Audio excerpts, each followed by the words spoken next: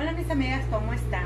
En esta ocasión vamos a hablar de dos temas muy importantes a base del tutorial que hice eh, el tutorial pasado. Bueno, una, uno de esos temas es sobre las tallas. Todas me han preguntado cómo hacen para eh, elaborar un short de una talla más como la L o como la S. Bueno, déjenme decirle que una talla L ustedes pueden aumentar 2 centímetros en cada una de las tallas que vayan a aumentar sucesivamente en la XL, en la XXL y así sucesivamente en cada una de ellas. Y si es SS, que es una talla más pequeña, ustedes tienen que antes descontar 2 centímetros. Bueno, en, en, el segundo paso es sobre los, el sesgo que yo, yo coloqué en este short.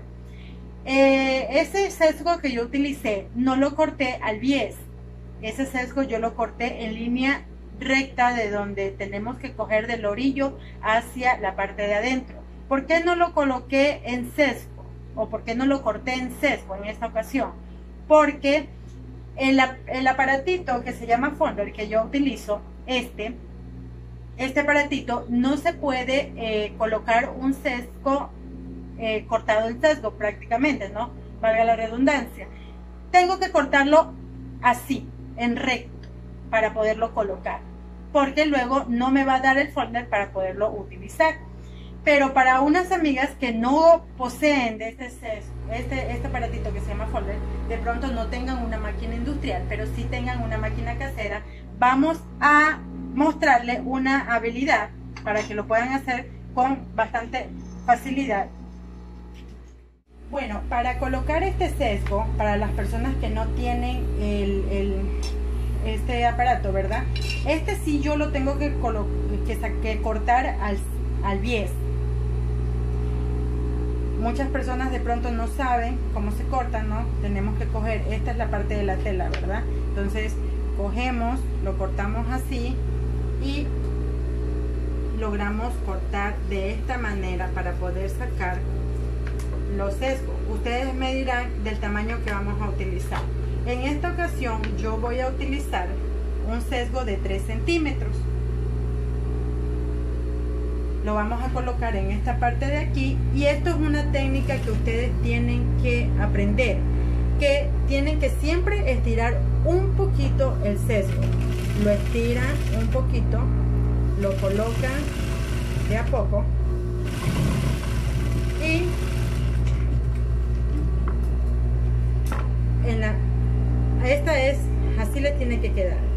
siempre tienen que estirar un poquito el sesgo.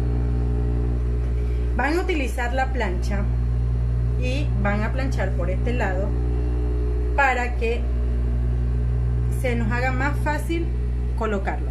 Luego doblan y terminan de doblar acá. Pero en esta ocasión ustedes ya no van a estirar la parte de acá arriba, van a estirar la parte de abajo sin estirar la parte de arriba y lo van a colocar. Siguen estirando la parte de abajo y la parte de arriba la dejan sin estirar. Luego van a colocar y estiran la parte de abajo y la de arriba sin estirar. Y les va a quedar un sesgo así. Tan bonito el acabado sin ningún problema.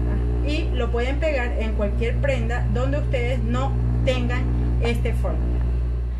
Bueno, mis amigas, miren, así queda el sesgo que yo coloqué. Este sesgo sí está cortado al 10. Eh, bueno, para algunas han de decir que, como me comentaron, que, que, que yo lo hago así o lo hago ver tan fácil. Pues déjenme decirle que a mí también me costó. A mí no fue fácil aprender yo tuve que hacerlo un sinnúmero de veces para que me salga y me quede tal y cual está aquí, igualito. Así que no se me desanime, continúen para las que me han escrito, que de pronto ellas tienen un poco de temor y de miedo también. Les pido disculpas de no poder responder todos los mensajes, pero yo aquí tengo que hacer muchas cosas, estoy en mi trabajo, a veces me toca que que, atender a mis clientes también, pero sí voy a tener el tiempo de mandarles los patrones que me han pedido porque los estoy organizando paso a paso.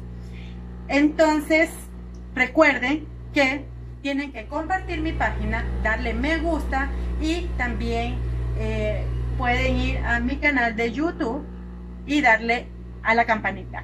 Las quiero mucho.